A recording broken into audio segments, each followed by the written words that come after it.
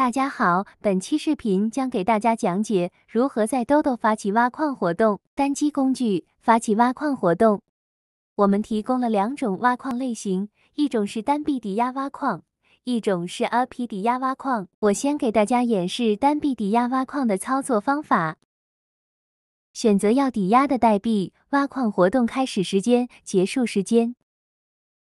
目前我们的挖矿活动不支持通缩类型的代币，包括交易销毁、交易收费类型的代币。设置挖矿奖励代币每日奖励数量。单击创建，挖矿活动就创建成功了。将你的挖矿活动分享给用户，用户可以通过链接或者扫码直接参与。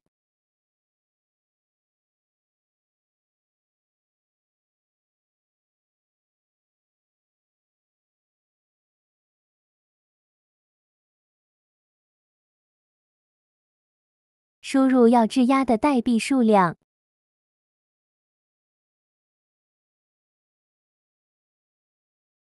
单击存入就成功参与挖矿了。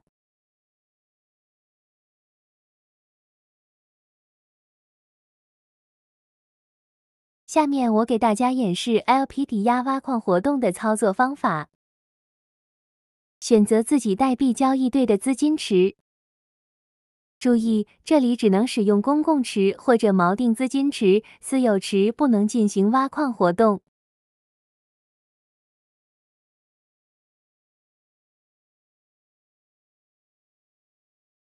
设置好挖矿奖励，单击创建就可以开始挖矿了。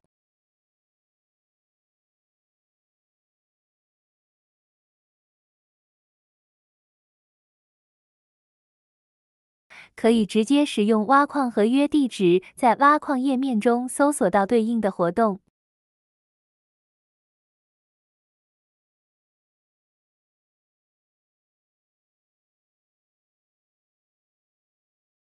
参与 LP 挖矿活动，需要先在做事页面添加做事资金，获得 LP Token。